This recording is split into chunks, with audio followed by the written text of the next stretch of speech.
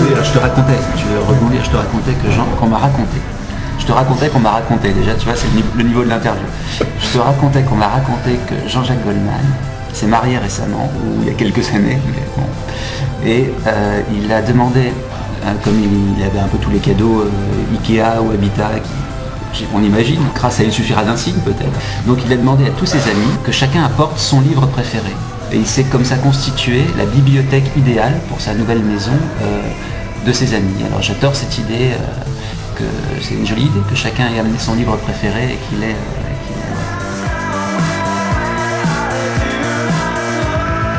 les lectrices d'aujourd'hui, ou même tous les lecteurs qui ont envie de, se mettre dans la peau d'une femme, mais euh, une, fille moderne. En fait, l'idée c'était de, redonner un peu de vaillance euh, aux filles d'aujourd'hui dans ce, monde un peu tristoun.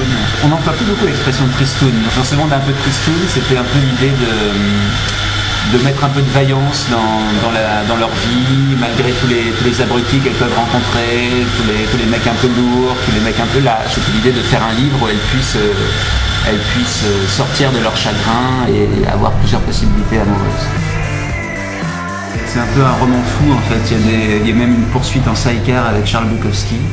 Euh, il y a des vampires, il y a des... c'est vraiment la recherche de l'amour et elle, devient tellement euh, tellement euh, personnel et tellement obsessionnel qu'il peut, peut lui tomber dessus toutes les aventures inimaginables, elle les traverse avec une espèce de, légèreté, et quand la rencontre amoureuse arrive, là, elle devient un peu plus, plus méfiante. J'aime beaucoup le concept de l'hyper-femme. Je pense qu'il faudrait, faudrait comme ça, euh, l'hyper-femme, j'adore ça. Comme le roman policier d'une histoire d'amour. Première histoire d'amour dont vous serez peut-être l'héroïne. Moi j'ai fait ça avec Pagaille Monstre, ce qui était la première histoire d'amour dont vous êtes le héros, qui a, eu qui a connu un beau petit succès. Ça m'a encouragé à, faire euh, la version fille. Mais j'arrête là, c'est terminé, mais, mais voilà, ça aurait été mon année 2010 où j'ai fait deux, euh, deux livres dont vous êtes le héros. Oui, j'en avais lu quelques-uns, mais parce que c'était à la mode quand j'étais petit, genre le sorcier de la montagne de feu, je crois, ou de la montagne magique, quelque chose comme ça. Mais en fait, vraiment, l'idée de base, c'était d'adapter ça à une histoire d'amour, parce que euh, à l'époque, dans le livre dont vous êtes le héros, il y avait des, créatures, des vampires, des revenants, et dans les histoires d'amour, il y a aussi des créatures, des vampires et des revenants, parfois les trois à la fois. Là, ça devient problématique.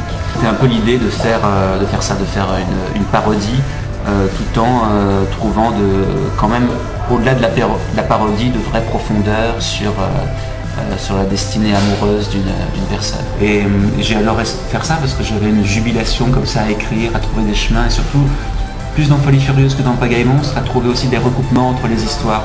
C'est-à-dire que j'espère que le livre prend plus de saveur si on essaye plusieurs chemins et si on voit ce qu'on ne peut pas faire dans la vie, on voit un peu les, correspondances parallèles qu'on peut avoir en prenant euh, plusieurs trajectoires.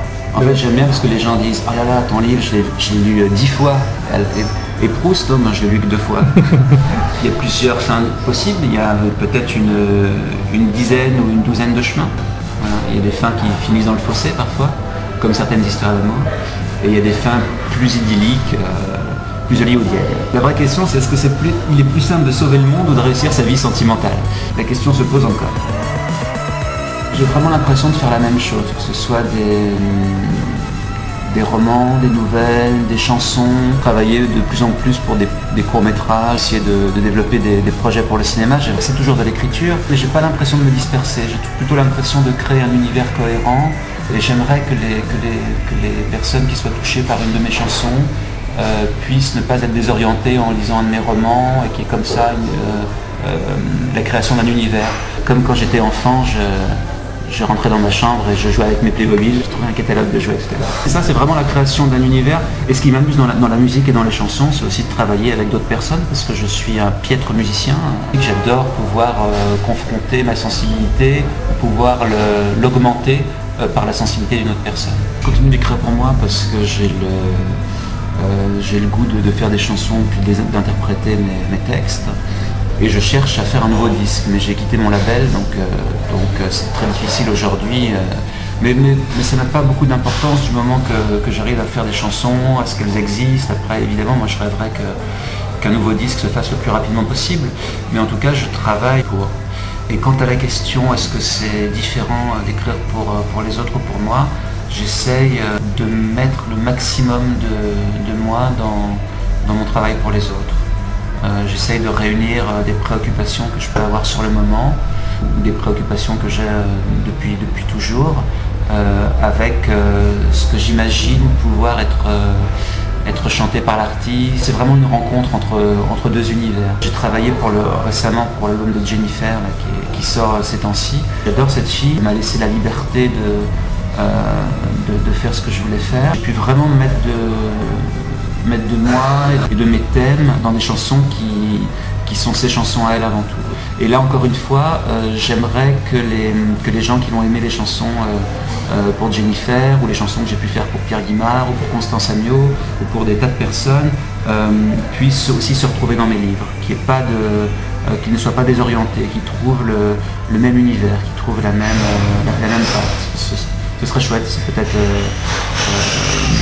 peut pas l'idéal, mais j'aimerais beaucoup ça.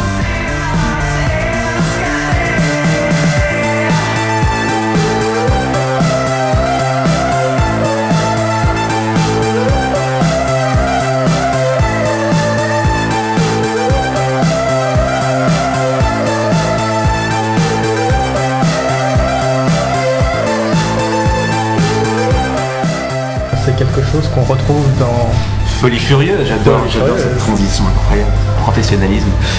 J'ai adoré cette interview, je vais la diffuser partout.